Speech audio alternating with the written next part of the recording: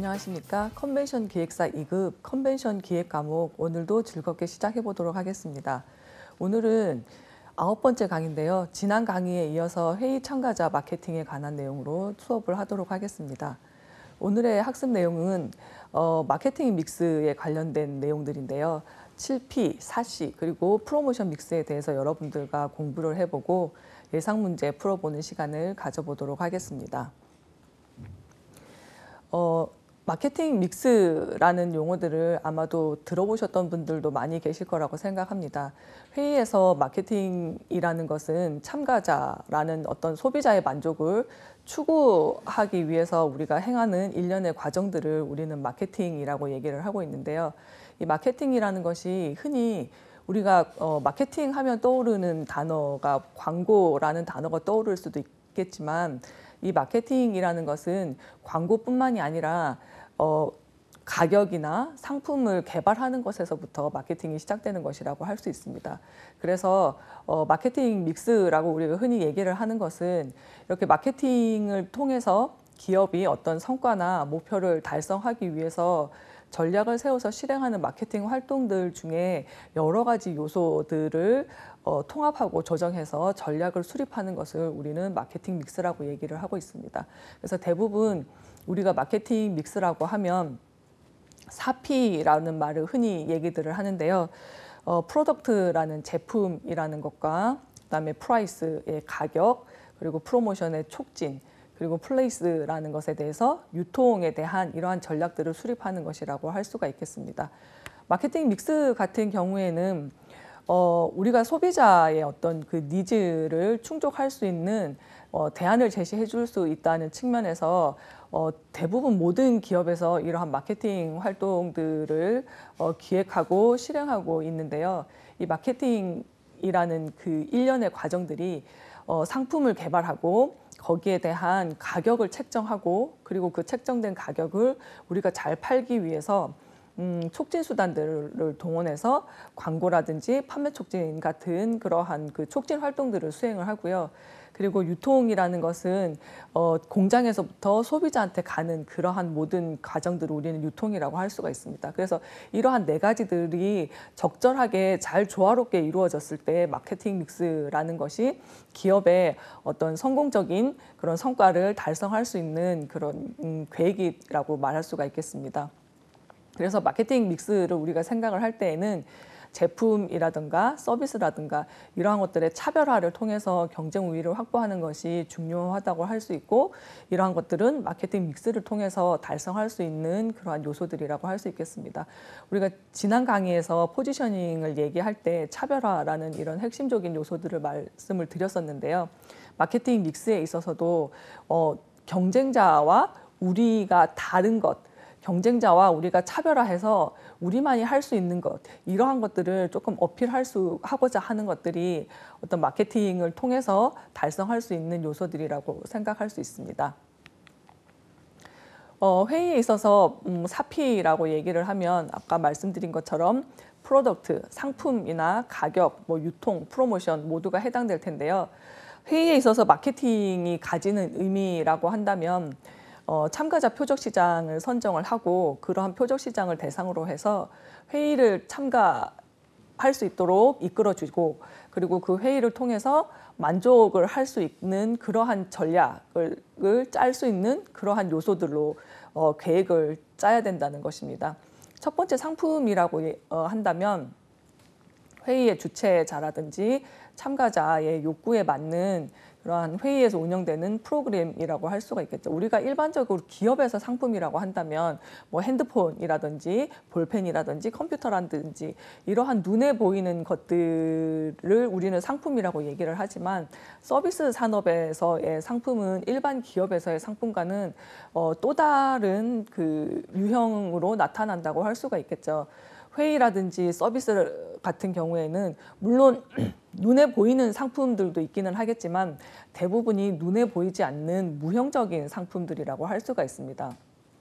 그래서 회의에서 우리가 흔히 상품이라고 한다면 어, 회의에서 운영되는 그러한 프로그램이 첫 번째 예가 될 것이고요. 그 프로그램 안에서도 개막식이라든지 폐막식이라든지 또는 주제 강연이라든지 어떤 분과 회의라든지 연회 또는 사교 행사 이런 관광 프로그램 이러한 것들이 회의에 있어서는 어떤 상품의 역할을 하는 것이라고 할 수 있습니다.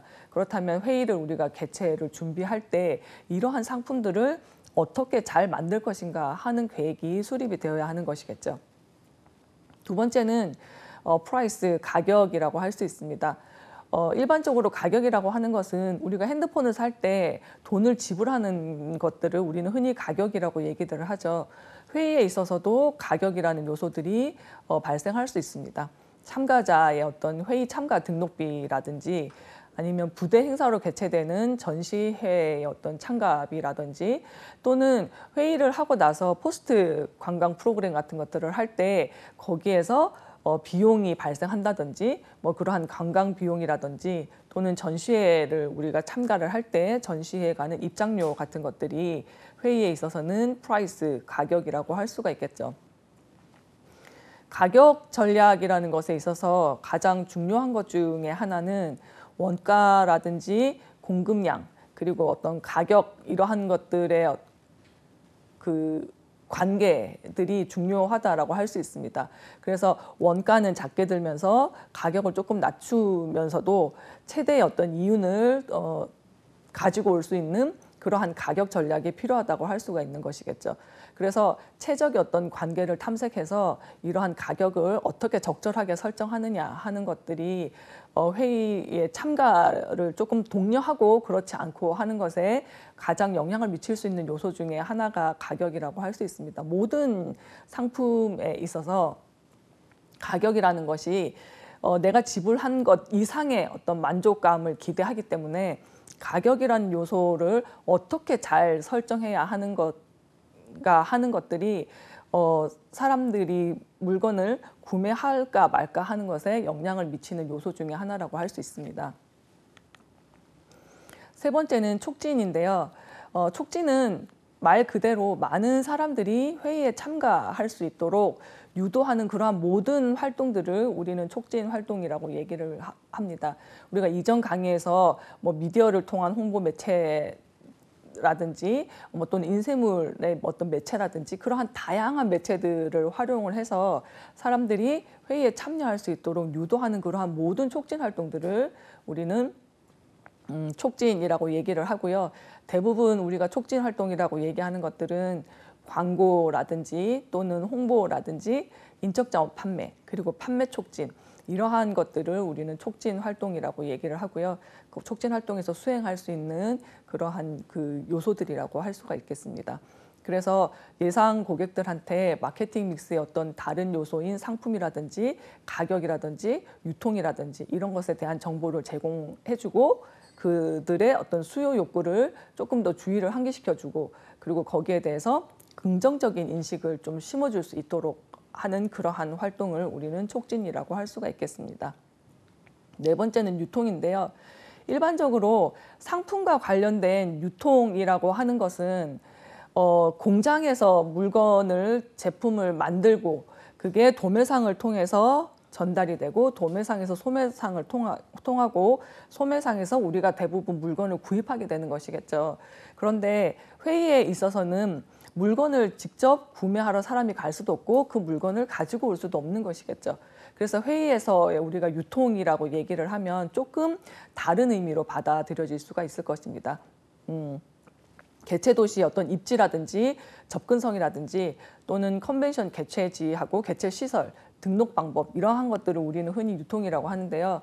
조금 더 쉽게 얘기하자면 회의 어떤 주최자 회의를 판매하는 사람이겠죠. 그 주최자와 회의에 참가하는 고객들 그 사이의 역을 이어주는 매개 역할을 할 수 있는 것들이 회의에 있어서는 유통이라고 할 수가 있겠죠. 쉽게 말하면 유통이라는 것은 상품은 일반적으로 공장을 거쳐서 도매, 소매, 고객한테 오지만 회의 같은 경우에 있어서는 고객이 상품이 있는 곳까지 간다는 것이 일반 제품이랑 조금 다른 개념이라고 할 수가 있겠죠. 그래서 회의에 있어서의 어떤 유통이라는 것은 장소의 개념과 유통의 개념이라는 두 가지 의미로 우리가 생각을 해볼 수가 있겠습니다.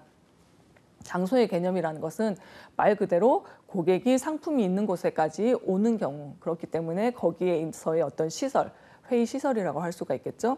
그리고 회의 시설까지에 올수 있는 접근성, 교통편 같은 것들도 어떻게 보면 회의에서는 유통이라고 할 수가 있겠습니다. 참가자를 상품이 있는 곳까지 데려다 주는 그러한 역할을 하기 때문에 그런 접근성이라는 것이 회의에서는 유통의 개념이라고 할 수가 있겠습니다. 그 외에도 편의시설이라든지 아니면 숙박시설과의 어떤 그런 연계성, 이러한 것들이 회의에서 있어서의 어떤 유통이라고 할 수가 있고요. 또 한 가지는 참가자와 주최자의 어떤 매개 역할을 한다는 측면에서 본다면 NTO라든지 convention bureau라든지 PCO라든지 여행사, 교통 이러한 여러 가지 어, 기관이나 단체들 또한 그 참가자가 그 회의에 참가할 수 있도록 독려하는 그러한 기관들이 될 수 있기 때문에 회의에 있어서는 이러한 기관이나 단체들 그리고 교통편 이러한 것들이 유통의 개념이라고 생각하시면 됩니다. 일반적으로 우리가 상품이라고 한다면 마케팅 믹스 요인을 얘기할 때 여기에 지금까지 얘기한 네 가지 요소들을 얘기하고 있는데요. 회의라는 어떤 서비스 산업이라는 측면에서는 일반적으로 마케팅 어떤 믹스를 요인들을 생각할 때 여기에 사피는 물론 기본이 되는 요소들이고요. 이 사피에 더해서 3P라는 세 개의 P 를더 더해서 그 일반 제품과는 다른 마케팅 믹스 요인들을 적용하기도 합니다. 어, 일반적으로 플러스 3P 해서 7개의 마케팅 믹스 요인을 적용을 하는데요.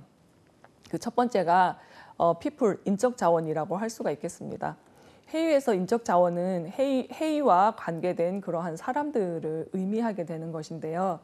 어, 쉽게 말하면 회의에서는 일반적으로 서비스 산업에서는 그러한 제조 산업에서보다 사람들에 의존하는 그러한 인적 의존도가 훨씬 더 높다고 할 수가 있겠죠. 그런 측면에서 회의에 오는 사람들, 그러한 사람들이 바로 인적 자원이 되는 것이겠죠. 그렇다면 회의에 참가하는 참가자라든지 그다음에 회의를 개최하는 준비하는 그런 운영 조직이나 주최자 이러한 사람들이 회의에 있어서는 또 한 가지 마케팅 믹스 요인이라고 할 수가 있습니다. 그래서 회의에서는 기업에서 우리가 우수한 인재들을 모집을 하고 그 인재들이 다른 데로 새 나가지 않게 인적 자원 관리를 하고 그러한 인적 자원을 개발하는 것처럼 회의 분야에 있어서도 이러한 참가자나 운영 조직 그리고 주최자 이러한 그 인적 자원에 대해서 특정한 어떤 전략이 필요하다라고 할 수가 있겠죠.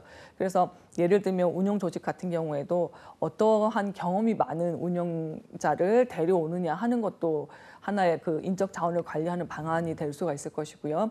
참가자 같은 경우에는 어떻게 하면 좀 더 많은 참가자들을 데리고 와서 그 참가자들이 만족할 수 있게 해주느냐 하는 것들이 인적 자원을 관리하는 그런 활동들이라고 생각하시면 되겠습니다. 여섯 번째는 프로세스라고 하는 과정인데요. 마케팅 그 전략 수립과 관련되는 모든 과정을 고객 관리라는 어떤 최우선 가치에 맞추어서 흐름을 어떻게 관리할 것인가에 대한 전략을 수립하는 것이 필요한데 그러한 전략을 수립하는 것을 우리는 프로세스라고 얘기들을 합니다.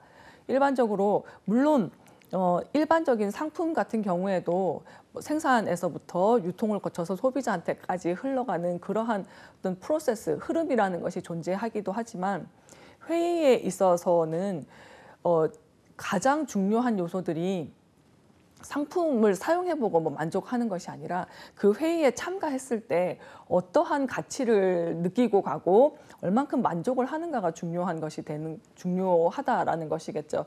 그렇기 때문에 그 모든 과정 과정에 있어서 고객 관리를 어떻게 하느냐 하는 그러한 흐름들을 우리는 과정이라고 얘기를 하고 회의에 있어서 필요한 요소라고 할 수가 있겠습니다.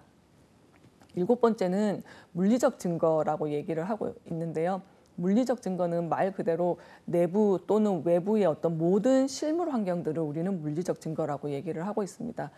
음, 호텔을 조금 예로 들어보자면 호텔 같은 경우에도 서비스 산업이라서 눈에 보이는 상품도 있고 눈에 보이지 않는 상품들도 있는 것이겠죠. 예를 들어서 호텔 레스토랑에 갔을 때 어, 음식이 나오는 것은 눈에 보이는 어떤 상품이라고 할 수가 있지만 음식을 제공하는 그러한 종사원들의 서비스 같은 경우에 눈에 보이지 않는다는 것이겠죠. 그리고 어, 레스토랑 같은 경우에 있어서도 그 레스토랑을 들어설 때 어떤 첫 번째 이미지가 굉장히 중요하다라는 것입니다. 그렇기 때문에 사람들이 처음 우리 그 호텔 레스토랑에 왔을 때 또는 호텔 로비에 왔을 때 어떤 느낌을 가질 수 있게 하느냐 하는 것들이 서비스 산업에서는 굉장히 중요하다라는 요소겠죠. 그래서 어, 일반적으로 호텔 로비 같은 경우에는 인테리어 같은 것에 굉장히 신경을 많이 쓰기도 하죠. 왜냐하면 로비가 대부분 사람들이 처음 호텔에 딱 발을 디뎠을 때 처음 마주하는 곳이기도 하고요. 그 장소에서 호텔에 대한 이미지가 생겨날 수 있기 때문에 호텔에 있어서는 로비가 굉장히 그 중요한 환경이라고 할 수 있습니다. 그래서 거기에 대한 인테리어라든지 가구는 어떤 거를 쓰는 쓰냐는 쓰는가 하는 것들에 대해서 어, 신경을 많이 쓰게 되는데요. 이러한 모든 요소들을 우리는 물리적 증거라고 얘기를 하고 있습니다. 회의 같은 경우에는 우리가 그런 물리적 증거가 회의를 운영하는 직원들의 복장, 복장이 어떠한가에 따라서 어, 뭐 화려하고 예쁘고 하는 것이 아니라 얼만큼 단정하고 사람들은 사람들에게 또는 그 참가하는 고객들에게 어, 호감 가는 그러한 분위기를 연출하느냐 하는 것들이 직원 복장이라든지 서비스 태도에서 나타날 수 있는 것들이기 때문에 이러한 요소들도 회의에 있어서는 어, 마케팅 믹스 요인으로 어, 고려를 해야 되는 요소들이라고 할 수가 있겠습니다. 그리고 그 외에도 어떤 유형 서비스 제품의 포장 상태라든지 고객과의 접촉이 이루어지는 그러한 현장 분위기라든지 그리고 회의 홍보를 위한 판촉물이라든지 뭐 회의 장소 인테리어 이러한 것들이 물리적 증거에 해당되는 내용이라고 할 수 있고요. 우리는 이러한 그 참가자 마케팅 전략을 수립할 때 이러한 일곱 가지 그런 마케팅 요소들을 어떻게 적절하게 잘 통합하고 계획을 수립하느냐에 따라서 참가자들이 조금 더 많이 올 수 있고 조금 더 성공적인 회의가 되느냐 그렇지 않느냐 하는 그런 밑바탕이 되는 요소들이라고 할 수가 있습니다. 보통은 우리가 마케팅 믹스라고 얘기를 하면 앞에서 금방 얘기했던 4P 또는 플러스 3P에서 서비스 산업에서는 7P를 얘기하기도 하는데요. 요즘은 어, 모든 기업이나 뭐 서비스 산업뿐만이 아니라 모든 기업에서 고객 만족이라는 것이 기업의 최우선의 어떤 목표, 경영 가치가 되어가고 있다는 측면에서 이러한 고객 중심의 어떤 전략을 수립을 하고 활용을 한다라는 것이죠. 그러면 그러한게 활용을 하고 고객 중심의 전략을 수립한다고 할 때 고려하는 요소로서 사피하고는 또 다른 사시라는 요소들을 어, 고려하기도 합니다.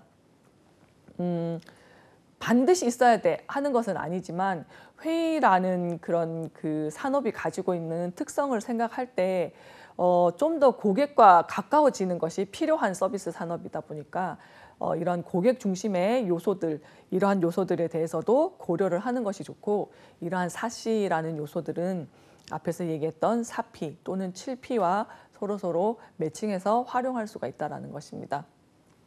그래서 그 사시 중에 첫 번째가 고객 가치라는 건데요. 어, 현대의 고객은 자신들의 어떤 가치, 또는 어떤 문제에 대한 솔루션을 사는 사람이라고 생각을 한다는 거죠. 그래서 어, 우리 가심비, 가성비 말고 요즘은 가심비라는 얘기들을 많이 하죠. 그 얘기가 여기 고객 가치라는 것들을 조금 대변하는 단어가 될 수 있다고 생각이 듭니다. 어, 왜냐하면 어, 현대의 고객들은 음, 돈을 얼마를 주어도 어, 사람들이 어, 저왜 이렇게 비싼 걸 사 하지만 나한테 그게 너무나도 가치가 있는 물건이라면 또는 가치가 있는 서비스라면 그것을 구매한다라는 거죠.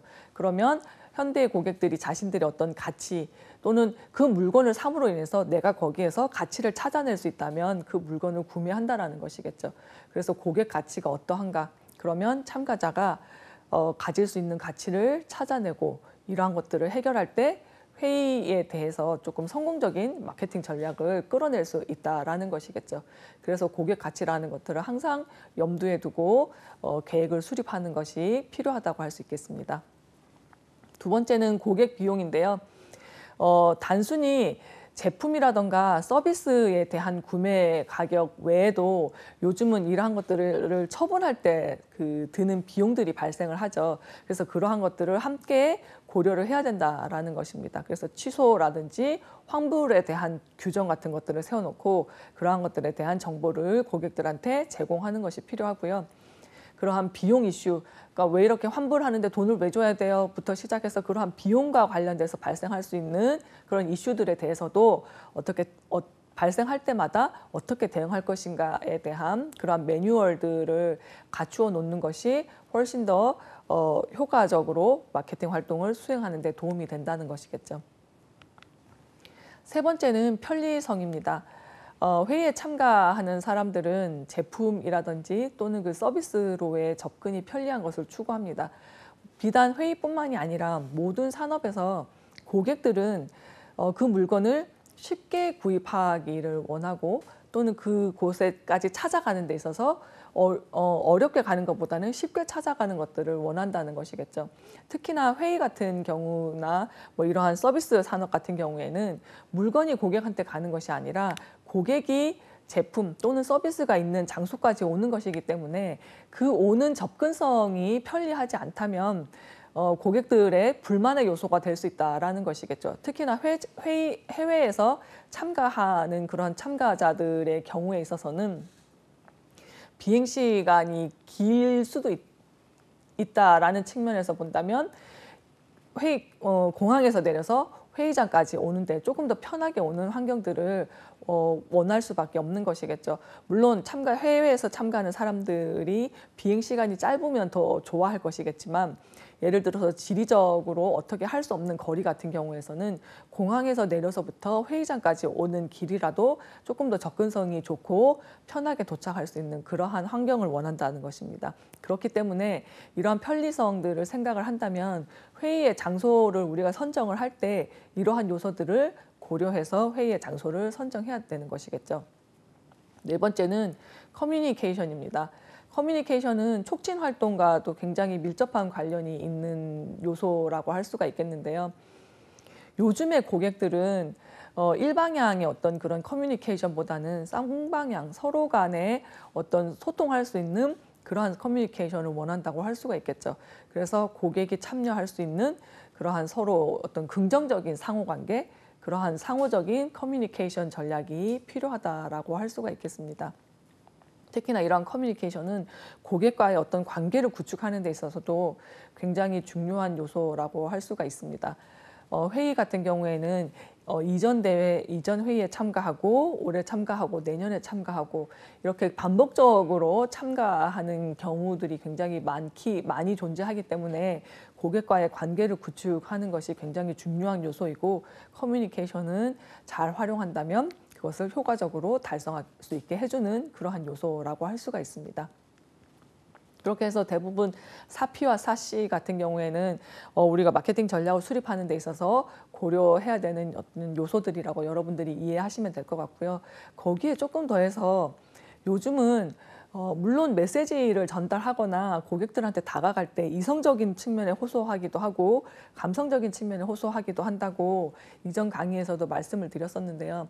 요즘은 우리가 마케팅을 하면서 특히나 우리가 어떤 촉진 활동들을 할 때 그러한 감성적인 요소들을 조금 어, 가미한다거나 우리가 계획을 수립할 때 이러한 감성적인 요소들을 조금 염두에 두고 수립을 한다면 조금 더 어, 마케팅이라는 것을 음, 효과적으로 전달할 수 있는 그러한 요소라고 할 수가 있겠습니다.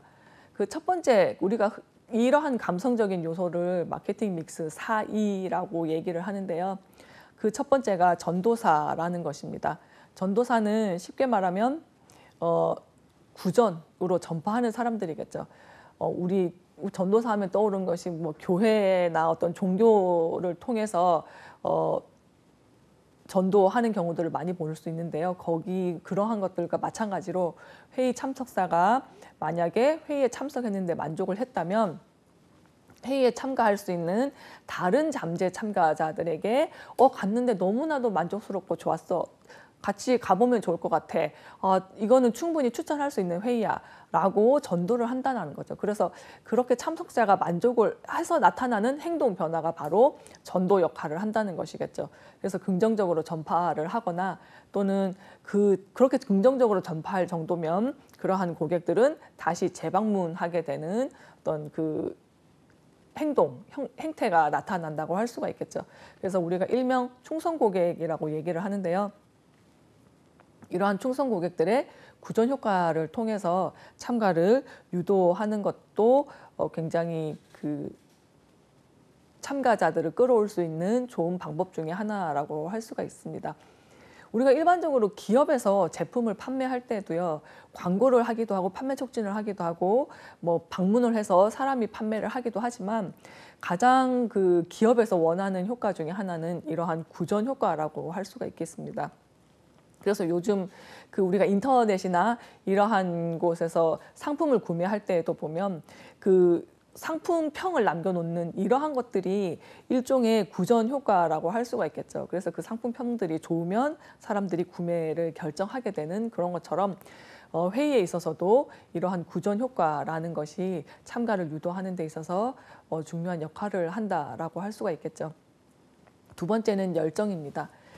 어, 열정은 기대 이상의 만족을 느끼게 하고 감동하게 만드는 그러한 상황이 되면 참가자들은 회의에 그런 열정적인 호의를 가지게 된다라는 것이죠. 열정이 많은 고객, 열정 있는 고객이 많은 기업일수록 브랜드 가치가 높아진다라고 할 수가 있겠죠. 이렇게 충성 고객이 많아지고 그러한 충성 고객은 어, 분명히 이러한 회의에 또는 기업에 열정적인 호의를 가지게 되기 때문에 그런 사람들이 얼마나 많은가에 따라서 브랜드 가치라는 것들이 측정이 될 수 있는 부분이라는 것이겠죠. 그래서 여기에서 말하는 열정이라는 것도 브랜드 가치에 있어서는 어느 정도 척도가 되는 그러한 부분이기도 합니다. 어, 전도사 같은 경우도 충성 고객이라고 하는데요. 우리가 브랜드 가치가 높다라고 하는 것은 그만큼 충성 고객이 많다라는 말과 일맥상통한다고 할 수가 있겠습니다. 우리가 삼성이라든지 애플을 떠올린다면 그 삼성이나 애플 같은 기업은 그만큼 브랜드 가치가 높다라는 것이고 그 이면에는 충성하는 고객들이 굉장히 많다라는 것이겠죠. 그래서 전도사나 열정이라는 것들을 조금 어, 우리가 고려한다면 그만큼 더 회의에 참가하는 사람들이 만족할 수 있는 요소들을 찾아내야 된다라는 얘기가 될 수도 있습니다. 그만큼 마케팅 전략 수립이라는 것이 고객의 우선 가치를 두고 고객이 만족할 수 있는 방향으로 전략을 수립하는 것이 중요하다고 할 수 있겠습니다. 세 번째는 체험이라고 할 수 있는데요. 체험이라는 것을 통해서 서비스와 제품을 느껴보게 되는 것이겠죠. 그래서 그러한 것들을 느끼게 되면 어떠한 특별한 가치를 가지게 되고 그러한 것들이 어떤 그 마음속에 오래 남아 있게 되는 그렇게 그 메모리라는 것들로 이어지게 되는 것이겠죠. 그래서 보통 체험이라는 것이 좀 오래 마음속에 남아 있게 하기 위해서는 감성적인 것들을 선호하는 경향들이 많다라고 할 수 있습니다. 그래서 그 회의에 있어서도 자칫 좀 딱딱할 수 있는 그러한 회의이지만 거기에서 감성적인 어떤 서비스를 체험하게 함으로 인해서 가치를 살릴 수 있는 그러한 공간들도 필요하다라고 할 수 있습니다. 그래서 우리가 음, 회의를 할 때 단순히 회의만 하는 것이 아니라 컨벤션 같은 경우에는 전시회를 포함할 수도 있고 또 회의가 끝나고 나서 post 관광 건강 프로그램 같은 것들을 통해서 이러한 감성적인 서비스를 제공할 수가 있는 것이겠죠. 또는 회의 중간중간 우리가 break time을 가질 때라도 이렇게 어떤 감성적인 것들을 느낄 수 있는 공간을 마련해 놓는다면 그러한 것들이 회의를 참가하는 사람들한테는 조금의 만족도라도 높일 수 있는 방법이기도 하겠죠. 또는 이러한 체험이라는 것은 어, 서비스를 대하는 태도나 서비스에서도 나타난다라고 할 수가 있습니다. 제가 예전에 그 회의 컨벤션 참가하기 위해 컨벤션 이제 주최를 하는데 홍콩에서 주최를 했던 적이 있었어요. 그런데 어, 렌즈를 너무 오래 끼고 있다 보니까 눈이 너무 아팠는데 그날따라 또 일요일이라서 병원도 문을 열지 않았다는 거죠. 그런데 그 홍콩 쪽에서였던 그 주최자 대표가 본인이 자주 가는 그 의사한테 전화를 걸고 일요일에도 문을 열어달라고 해서 제가 눈이 아팠던 것들을 치료했던 적이 있었는데요. 그러한 체험들이 그 회의에 있어서의 어떤 만족도라는 측면에서 굉장히 오래도록 남아있는 그러한 요소가 될 수 있다라는 것입니다. 그게 지금 한 20년 정도 지난 상황, 상황인데요. 아직도 홍콩이라고 라는 단어를 들으면 그때의 그 감동과 그때 병원을 데려가 주셨던 그 주최 측 운영자가 아직도 생각이 날 정도이기 때문에 이러한 체험이라는 것은 굉장히 그 회의를 참가하는 사람들에게 만족을 제공해 줄 수 있는 중요한 요소가 될 수 있다라는 것이겠죠. 네 번째는 교환입니다. 회의의 경우에 있어서 기본적으로 소통을 전제로 하고 있는데요. 이러한 교환이라는 것은 서로 간의 어떤 그 감정적인 교류를 통해서 거기에서 기대감이 높이고 그러한 것들이 향후 충성 고객으로 발전할 수 있다라는 것이겠죠. 그래서 교환이라는 것은 서로 간의 의사소통을 어떻게 하느냐. 뭐 그래서 어, 내가 기대했던 것만큼 회의에서 가져가느냐 그렇지 않느냐 하는 것들이겠죠. 그래서 이러한 것들이 잘 이루어진다면 회의를 조금 더 만족스럽게 어, 경험하고 갈 수 있는 그러한 요소가 될 수 있다라는 측면에서 우리가 마케팅 전략을 수립할 때 이러한 요소들을 조금 더 고려한다면 어, 프로그램에 대한 방향이라든가 마케팅 전략 수립에 대한 어떤 방향들도 어, 설정하는 데 있어서 조금 유용하게 작용되는 요소들이라고 할 수가 있겠습니다.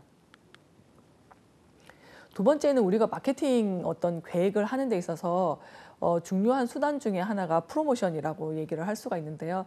앞에서 얘기했던 4P 중에 프로모션 촉진이라는 것이겠죠. 그래서 프로모션이라는 것에 대해서도 어떻게 계획을 세우느냐에 따라서 어, 참가자들이 좀 더 많이 올 수 있게 하느냐 그렇지 않느냐 하는 것들을 결정 지을 수 있는 요소들이라고 할 수가 있겠습니다. 프로모션이라는 어원은 라틴어 프로 무브에서 유래를 했는데요. 프로라는 말은 앞으로라는 말이고 무브라는 말은 움직이게 하다라는 뜻입니다. 그래서 그 라틴어를 그대로 번역을 하자면 앞으로 움직이게 하는 것이겠죠. 그래서 뒤로 후퇴하지 말고 회의를 참가하는 이 행동을 이끌 수 있게 행동 쪽으로 오라고 직진하라는 얘기겠죠. 속된 말로. 다른 거 보지 말고 우리 회의로 직진하세요 하는 그러한 것들이 바로 그러한 활동들이 프로모션이라고 할 수가 있겠습니다. 그래서 소비자한테 그러한 구매 동기를 조금 유발시키려고 하는 그러한 어떤 방향성, 그 방향성은 우리 회의를 향해서 앞으로 전진하라는 그 방향이 되는 것이겠죠. 그래서 프로모션이라고 하는 것은 어, 미국 마케팅 협회에서 이런 프로모션에 대한 정의를 내리고 있는데요. 광의의 개념과 협의의 개념으로 볼 수가 있습니다. 광의의 개념으로 본다면 인적 판매라든지 광고라든지 퍼블리시티라든지 이러한 고객의 구매를 자극하는 그러한 모든 방법들을 프로모션이라고 하고 있고요. 협의에 있어서는 판매 촉진이라는 것을 우리는 프로모션이라고 얘기를 많이 합니다. 그래서 우리가 일반적으로 프로모션이라는 단어를 사용할 때 굉장히 헷갈리는 이유 중에 하나가 어, 우리가 보통 기업에서 하는 프로모션이라고 한다면 뭐 가격을 할인해 주든가 또는 어떤 그 물건을 좀 구매하는 동안에 어떤 이벤트로 해서 사은품을 준다든가 이런 것들을 할 때 프로모션이라는 단어를 많이 쓰기도 하고요. 좀 전에 사피할 때의 프로모션이라는 것은 그러한 모든 촉진 활동들을 다 얘기하는 프로모션이었다는 것이겠죠. 그런 측면에서 본다면 어 우리는 우리가 좀 많이 그 경험할 수 있던, 있었던 것들 중에 하나가 판매 촉진이라는 것이겠죠. 뭐 쿠폰을 준다든지 가격을 할인해 준다든지 그래서 그러한 것들에 대한 어떤 프로모션이라는 단어 때문에 음, 조금 헷갈릴 수 있는 부분이 있을 것 같습니다. 그런데 여기서는 프로모션이라는 것이 단순히 그러한 판매 촉진 활동들만 얘기하는 것이 아니라 인적 판매부터 시작해서 광고, 홍보 이러한 모든 활동들 심지어 온라인 프로모션까지 모든 활동들에 대해서 계획을 수립하는 것을 프로모션 계획이라고 어, 정의를 내리고자 합니다. 그래서 앞으로 이 프로모션 계획 수립에 있어서는 판매 촉진뿐만이 아니라 여러 가지 다양한 촉진 수단들에 대해서 여러분들이 생각을 하셔야 될 것 같습니다. 프로모션 믹스는 말 그대로 앞에서 우리가 마케팅 믹스에서 여러 가지 요소들을 가지고 그러한 것들을 적절히 믹스 시켰다는 것처럼 프로모션 믹스라는 것도 마찬가지로 마케팅 목표를 달성하기 위해서 어, 광고라든가 판매 촉진 이러한 피, PR 이러한 모든 프로모션의 하위 활동들을 일관되고 통일된 활동으로 조정하고 통합하는 것이라고 할 수가 있겠습니다. 마케팅 믹스는 흔히 말한 이런 4P로 이루어지고요.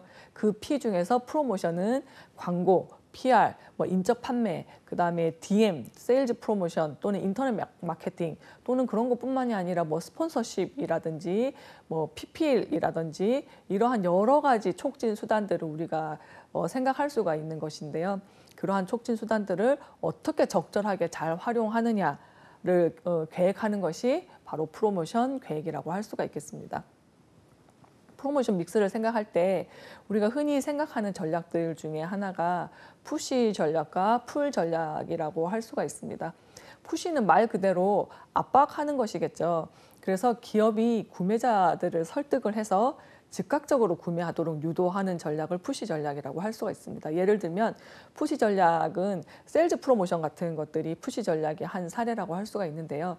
우리가 음, 커피를 사러 갔을 때 나는 A라는 회사의 커피를 좋아하고 그것을 사러 갔어요. 그런데 사러 갔더니 B라는 회사에서 어 내가 정말 마음에 드는 텀블러를 사은품으로 준다고 하네요. 그러면 내가 A라는 커피를 사러 갔지만 B라는 커피를 사게 한다는 것이죠. 이러한 것이 아 나 이거 사은품 줄 테니까 꼭 사 라고 푸시한다라는 의미에서 푸시 전략이라고 얘기를 하고요. 흔히 푸시 전략의 그런 가장 대표적인 사례들이 그런 세일즈 프로모션이라고 할 수가 있겠죠. 풀 전략이라는 것은 말 그대로 고객이 나한테 오도록 당긴다는 얘기겠죠. 그래서 기업이 구매자를 자극해서 구매 욕구가 소비자들로 발생할, 발생할 수 있도록 유도하는 것을 풀 전략이라고 얘기를 합니다.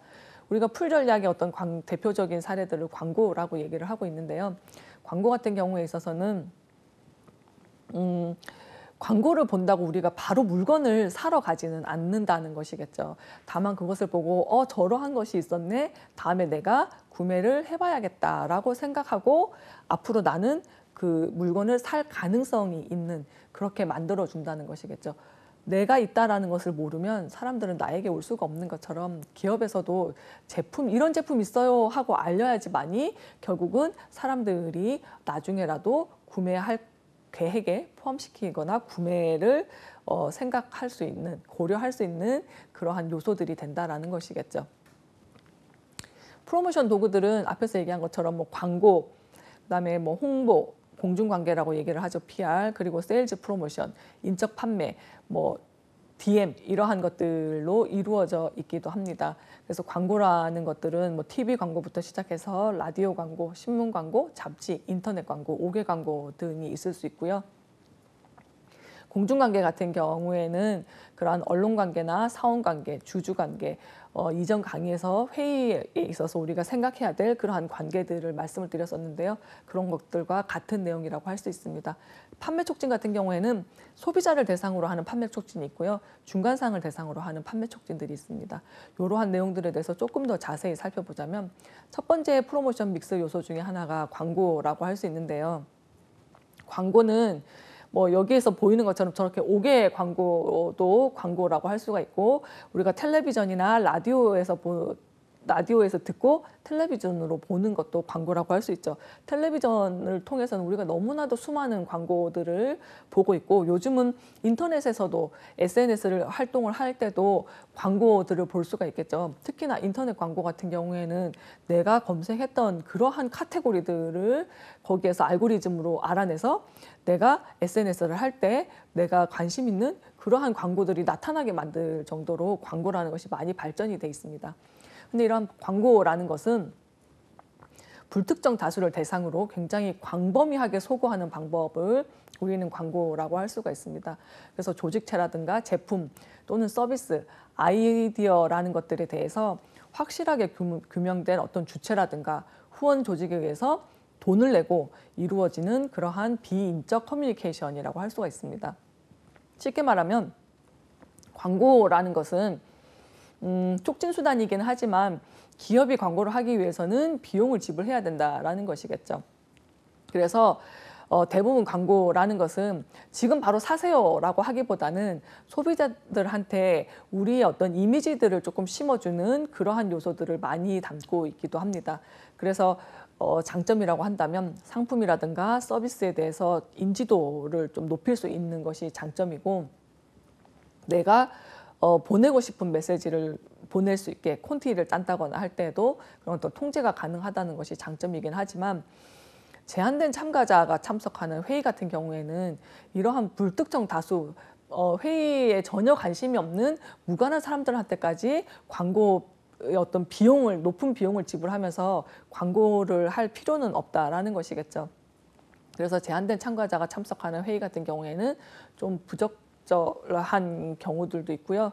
정보의 양이라든가 이러한 것들이 15초, 30초 내에 이루어져야 되다 보니까 조금 그런 것들이 제한적이고 효과 측정이 어렵다는 것이 광고의 단점이라고 할 수가 있겠죠. 광고 같은 경우에는 방금 말씀드렸다시피 바로 구매를 하세요라고 푸시하는 것이 아니라 앞으로 구매할 수 있게 행동을 유도하는 것이라고 할 수 있습니다. 그래서 정보를 제공한다든지 고객을 설득한다든지 아니면 저런 어떤 그 5개 광고 같은 것들을 통해서 상품을 회상할 수 있게 만들고 그런 것들을 통해서 구매를 어, 구매 행동을 유도할 수 있게 만드는 그러한 요소가 바로 광고라고 할 수가 있겠습니다. 홍보는 공중과의 어떤 관계 관리라고 얘기를 하고 있는데요. 이러한 그 PR의 핵심은 우리가 생각할 때 이러한 공중관계는 굉장히 다양하다라는 것입니다. 이전 강의에서도 얘기하고 좀 전에도 얘기한 것처럼 언론 관계라든지 사원 관계라든지 여러 가지 다양한 관계들이 존재한다는 것이겠죠. 그래서 그러한 비인적 매체 뭐 인쇄물이라든지 영상이라든지 이러한 매체들을 통해서 상품이나 서비스 또는 우리 기업의 어떤 수요를 촉진시킬 수 있는 그러한 방법이 홍보라고 할 수가 있고요. 홍보 같은 경우에는 편집자가 전달하는 방식이기도 하고요. 그렇기 때문에 객관성을 유지할 수 있다는 게 장점이기도 합니다. 단점은 메시지의 양 조절이라든지 게재 횟수가 조금 제한된다거나 표현 방법이 조금 어려운 경우도 있다라는 것. 그리고 어, 회의 참가자를 유치하는 마케팅에 있어서는 조금 한계가 있을 수도 있다라는 것이겠죠. 모든 관계를 어, 마케팅 그 프로모션 계획을 수립하는 사람 또는 마케팅 담당자가 그런 모든 관계를 다 통제하거나 음, 규정할 수는 없기 때문에 회의 참가자 유치 마케팅에 있어서는 조금 한계가 있는 부분이 있다라고 할 수가 있겠죠. 어, PR이나 광고 같은 경우에는 조금 비슷한 측면도 있고 조금 다른 측면도 있기는 한데요. PR이나 광고는 둘 다 고객에게 정보를 제공하고 고객을 설득함으로 인해서 이미지를 심어주고 어, 차후에 구매 행동을 유도하려는 것이 비슷한 점이기는 하지만 광고 같은 경우에는 그 비용이 굉장히 많이 들어간다는 측면이 있고요. 반면에 PR이라는 것은 어, 비용이 광고에 비해서는 훨씬 적게 들어가고 광고보다 훨씬 객관적이고 신뢰성을 유지할 수 있다라는 것입니다. 우리가 이전 강의에서 홍보의 원칙 중에서 진실성과 신뢰성의 원칙을 공부했었는데요. 그러한 것들처럼 어, 홍보라는 것들은 광고보다 훨씬 객관성을 조금 유지할 수 있다는 것이 광고와 다른 차이점이고 어, 장점이라고 얘기할 수가 있겠습니다. 판매 촉진 같은 경우에는 말 그대로 인센티브 같은 것들을 제공해서 즉각적인 판매를 자극할 수 있는 활동이라고 할 수 있겠습니다. 그래서 판매 촉진을 제공하는 동안은 즉각적인 판매 증가가 가능하고 광고에 비해서는 뭐 조금 비싸긴 하지만 그래도 광고에 비해서는 비용이 저렴하기 때문에 효과 측정이 굉장히 용이하고 많이 사용할 수 있다라는 것이 장점입니다. 반면에 판매 촉진이라는 것은 뭐 사은품 같은 것들을 장기간 지속하게 되면 브랜드 이미지를 손상시킬 수가 있다는 것이죠. 예를 들어서 커피 같은 경우에는 항상 사은품이 붙어 있어서 우리가 생각을 할 때 아, 이런 거는 이 가격이 커피 가격에 다 포함되어 있을 거야 라고 하면서 브랜드 이미지에 대해서 좀 부정적인 생각을 할 수도 있다는 것이겠죠. 그렇기 때문에 럭셔리 브랜드에서는 광고는 많이 하기는 하지만 판매 촉진 활동 같은 경우에는 잘 볼 수가 없겠죠. 사은품을 준다든가 원 플러스 원을 한다든가 하는 경우들이 잘 없다, 없는 이유 중에 하나가 그런 브랜드 이미지라는 것들을 유지시키기 위해서라고 할 수가 있겠습니다. 그리고 판매 촉진은 경쟁사에서 모방하는 것이 굉장히 쉬워요. A라는 커피 회사에서 텀블러 상품을 내놨는데 그 하루 이틀 뒤면 B라는 커피 회사에서도 상품 붙여서 팔 수 있다라는 것이겠죠. 판매 촉진 같은 경우에는 소비자한테 하는 것이 있고 중간상한테 하는 것이 있는데요. 소비자한테 하는 것은 우리가 소비자들이 가져갈 때 어, 그렇게 그 사은품 같은 쿠폰 같은 것들을 받아가는 경우들을 얘기할 수가 있고 중간상 같은 경우에도 우리가 흔히 음, 중간 유통하는 데 있어서 어, 10개 팔아주면 내가 하나는 그냥 공짜로 줄 테니까 내 거 좀 더 많이 팔아줘. 그러면 중간상은 10개의 상품을 지급 하지만 열한 개의 상품을 가져가서 열한 개의 상품을 팔면 하나의 그 하나 상품에서 더 많은 이익을 남길 수 있다라는 거죠. 이러한 것들이 중간상 지향적인 판매 촉진이라고 할 수가 있습니다. 그래서 판매 촉진은 조금 더 광고나 홍보보다는 어, 구매를 즉각적으로 할 수 있게 만들어주는 요소라고 할 수가 있겠죠. 네 번째는 인적 판매인데요. 인적 판매는 말 그대로 어, 사람과 사람이 직접 대면해서 어, 구두를 통해서 서로 소통을 하면서 판매를 한다는 것이겠죠. 홍보나 광고나 판매 촉진 같은 경우가 비인적 매체라고 한다면 인적 판매 같은 경우에는 어, 사람이 굉장히 중요한 그 인적 매체라고 할 수가 있겠죠. 그렇기 때문에 그러한 그 커뮤니케이션이나 이런 소통이 굉장히 중요한 요소가 될 수 있습니다. 쌍방향 커뮤니케이션이 가능하고 피드백을 즉각적으로 받을 수 있다는 게 인적 판매의 가장 큰 장점이긴 하지만 많은 시간과 비용이 필요하다는 것이겠죠. 마지막은 우리가 참가자 프로모션을 하면서 온라인 프로모션이라는 것을 생각할 수 있는데요. 요즘은 어떤 측면에서 본다면 이러한 오프라인 프로모션도 촉진 활동들도 많기는 하지만 온라인 촉진 활동들이 점점 많이 증가하고 있는 추세기는 하죠. 더 많은 사람들이 어, 뭐 코로나로 인한 것뿐만이 아니라 그 이전부터 이런 디지털이라는 또는 SNS라는 이러한 온라인 상의 어떤 그 이용들이 많아지다 보니까 그리고 오프라인에서보다는 조금 더 저렴한 가격으로 어, 프로모션을 할 수 있다 보니까 이런 온라인 프로모션들이 점점 점점 많이 증가하고 지금은 그러한 프로모션들이 굉장히 넘쳐나기까지 하는 그러한 환경이기도 합니다. 그 온라인 프로모션의 가장 대표적인 것이 홈페이지라고 할 수가 있는데요. 회의 같은 경우에 있어서는 홈페이지를 대부분이 구성해 놓고 있죠. 그래서 회의를 개최하기 전에 개최하고 나서 그러한 그 정보들을 제공해 주는 역할을 하는 곳이 바로 홈페이지이기도 합니다. 그래서 홈페이지는 어떤 참가자를 유치하는 데 있어서 핵심 축이 될 수 있는 그러한 역할을 하는 것이기도 하죠. 그래서 회의 개최 전에는 회의 일시나 장소, 스케줄 이런 회의 전반에 대한 자료라든가 그다음에 어떤 연사가 확정되면 그러한 확정된 연사를 공개하든지 또는 이벤트 같은 그런 업데이트 내용 같은 것들을 공유하면서 기대감을 조금 어, 심어줄 수 있는 그러한 역할을 할 수가 있다는 것이겠죠. 회의를 개최하고 나서는 어, 홈페이지에 우선은 공식적으로 물론 홈페이지 외에 이메일이나 DM들을 통해서 어, 사후에 이러한 홍보 활동을 하는 것이 중요하다고 이전 강의에서도 얘기를 했어요. 그래서 어, 이메일이나 DM을 통해서도 하지만 어, 회의가 종료하고 나면 바로 참가에 대해서 감사 인사를 표현할 수 있는 방법이 홈페이지를 통해서 한다면 훨씬 더 공식적이고 빠른 선택이 될 수 있다라는 측면에서 홈페이지에 개최하고 나서 감사 인사를 올리기도 하고요.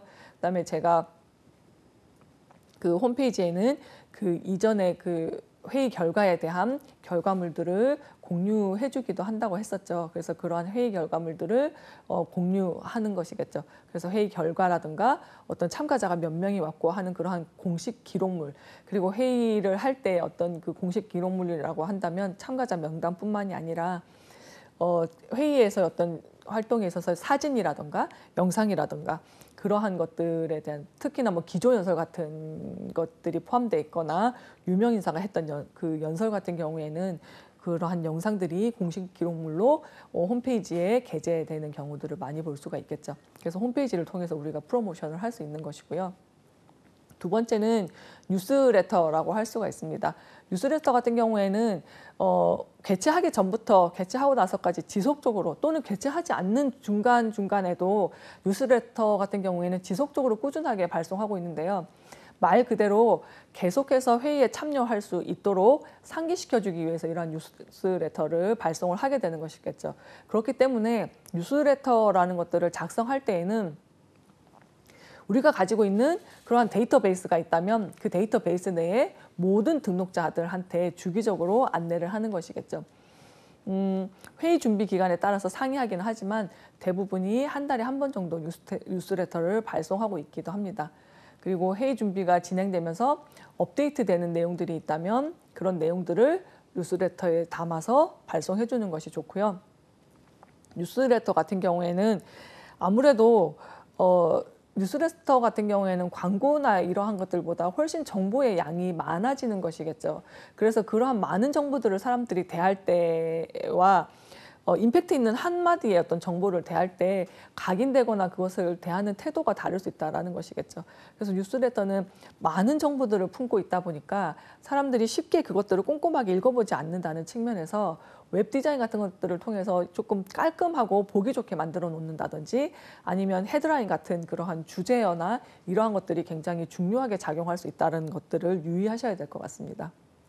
그리고 뉴스레터의 그 오픈율들을 체크하면서 미진한 경우에는 텔레마케팅으로 재확인하는 어떤 그런 것도 어, 생각을 해봐야 된다는 것이겠죠. 그리고 그런 뉴스레터를 발송을 할 때 보통은 온라인으로 발송을 하거나 홈페이지에 게재하거나 하다 보니까 스팸 처리되지 않도록 확인하는 것이 필요하다라고 할 수가 있겠죠.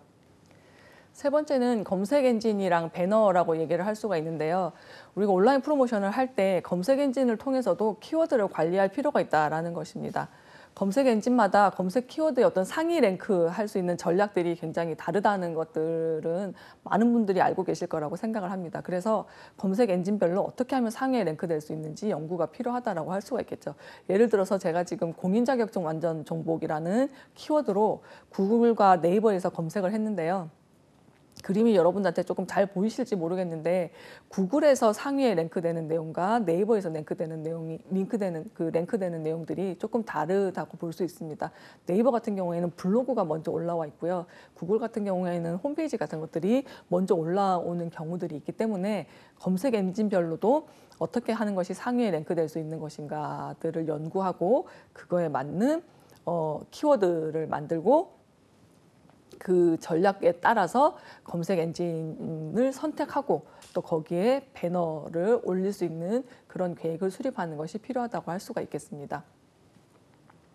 배너는 서로 시너지를 낼 수 있는 공동 프로모션이라고 할 수가 있겠죠. 그래서 그 가능한 그 그런 공동 프로모션이 가능한 대상 홈페이지에 등록해서 알리는 기능이기는 한데요. 예상 참가자의 있던 이용 빈도가 높은 사이트나 카페, 블로그, 뭐 언론사 어떤 곳이 있는지 파악해서 해당 사이트 관리자와 접촉을 하고 거기에 배너를 올릴 수 있다라는 것이겠죠. 그래서 그러한 배너를 올리거나 키워드를 할 때는 방금 얘기한 것처럼 어, 상위에 랭크될 수 있는 전략을 수립하는 것이 필요한 것이고요. 네티즌들에 의해서 좀 자발적으로 정보를 확산시키고 싶을 때는 이러한 온라인 이벤트들을 또 기획할 수가 있다라고 할 수 있습니다. 이벤트 방법에 따라서 뭐 개인 블로그 등을 통해 가지고 행사에 대한 홍보로도 연결할 수가 있는 것이겠죠. 온라인 이벤트 같은 경우에는 어 뭐 예를 들어서 음, 해시태그를 뭐 그 좀 전에 제가 공인 자격증 완전 정복으로 했으니까 해시태그를 공인 자격증 완전 정복이라고 네티들한테 뭐 블로그에 다는 사람들은 뭐 선착순으로 몇 명에게 우리가 뭐 뭐 상품권이나 뭐 또는 거기에 필요한 어떠한 혜택들을 제공한다라는 이벤트 같은 것들을 개최를 한다면 개인 블로그에서 그러한 이벤트를 시행을 하면서 그 개인 블로그 어, 이웃들에게 어, 이러한 회의를 알릴 수 있는 홍보로까지 어, 연결이 될 수 있다라는 것이겠죠. 그래서 그러한 측면에서 온라인 이벤트를 개최하기도 합니다. 어, 온라인 프로모션 중에서 우리가 가장 많이 하는 것이라고 생각이 드는데요. SNS 마케팅이라는 것이 또 있겠죠.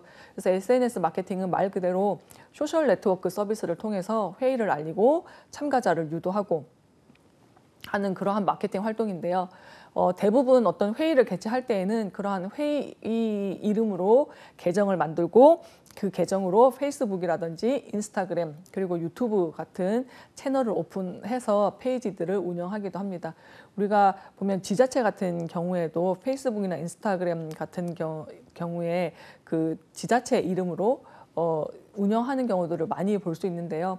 회의도 마찬가지로 그 회의 이름을 통해서 페이스북이나 인스타그램을 개, 어, 개설을 개설하고 오픈하고 거기에 대해서 꾸준히 우리가 어, 정보들을 올려주고 해시태그를 달아서 그런 키워드들을 달아서 사람들이 조금 많이 관심을 가질 수 있게 하는 것들이 필요하다라고 할 수가 있겠죠. 그래서 어떤 측면에서 보면 굉장히 빠른 시간에 회의라는 이 이름을 우리가 개최하는 이 회의라는 이름을 굉장히 단시간에 많은 사람들한테 알릴 수 있는 방법 중에 하나가 바로 이 SNS 마케팅이라는 거죠. 그래서 소셜, 소셜 이런 네트워크 마케팅 같은 경우에 있어서는 어, 조회수라던가 페이지 미리 보기라던가 좋아요 횟수라던가 아니면 게시물을 본 사람 수, 뭐 아니면 페이지를 추천한 횟수, 뭐 거기에 공유, 구독, 뭐 특- 이러한 것들이 있죠. 이러한 것들을 통해서 어, 성과를 측정하는 면에 있어서도 굉장히 어, 용이하다라는 것이 SNS 마케팅의 장점이라고 할 수가 있겠습니다. 그래서 많은 회의 마케팅에 이러한 SNS 마케팅이 활용된다는 거죠. 그 외에도 뭐 DM이라는 DM 광고도 요즘은 온라인을 통해서 할 수가 있는 것이고 뭐 텔레마케팅 같은 경우에도 온라인을 통해서 할 수가 있다는 거죠. 전화 등의 어떤 통신 수단을 통해서 마케팅을 실시하는데요. 텔레마케팅 같은 경우에는 방문 판매하는 것보다는 훨씬 비용이 저렴하면서도 인적 판매와 같은 그러한 쌍방향 매체의 어떤 기능들을 할 수 있고 어, 즉각적으로 피드백을 할 수 있고 신속하게 대응할 수 있다라는 측면에서 요즘은 텔레마케팅 같은 거- 경우도 어떤 프로모션에서 그러니까 촉진 활동 중에서 많이 볼 수 있는 항목들이라고 할 수가 있겠습니다. 그래서 지금까지 이러한 여러 가지 그 촉진 수단들을 우리가 봤는데요. 이러한 것들과 마케팅 믹스를 잘 조정을 해서 프로모션 계획을 수립하는 과정이 필요하다라고 할 수 있겠습니다. 그래서 프로모션 계획을 수립할 때에도 프로모션 목표를 결정을 하고 그 목표에 도달하기에 적절한 그런 프로모션 수단을 결정을 해야겠죠. 우리가 시장 세분화에서 했던 그런 타겟 시장을 확인하고 그 시장한테 효과적인 그런 프로모션 방법을 결정하는 것이 필요하다는 것입니다. 그러한 것들이 바로 프로모션 계획이, 계획이기도 하고요. 그렇게 함으로써 그런 프로모션 활동들을 우리가 IMC 전략이라고 얘기를 했었죠. 굉장히 유기적으로 연계해서 어, 서로 동시에 진행하면서 그 프로모션들을 시너지 효과를 발생할 수 있도록 그렇게 계획을 한다는 것입니다. 다만 그렇게 동시에 진행하면서 시너지 효과를 발생하기 위해서 프로모션을 믹스할 때에는 반드시 일관된 메시지 그리고 통합된 계획으로 음, 수립을 하셔가지고 실행을 하셔야 되는 거고요. 그러한 것들을 하나의 표로 작성해서 공유하는 것도 필요하다라고 할 수 있습니다. 그리고 거, 거기에 필요한 예산도 계획을 짜야 되는 것이겠죠. 지금까지 회의 참가자 마케팅에 대해서 두 번의 강의에 걸쳐서 여러분들한테 설명을 드렸었는데요.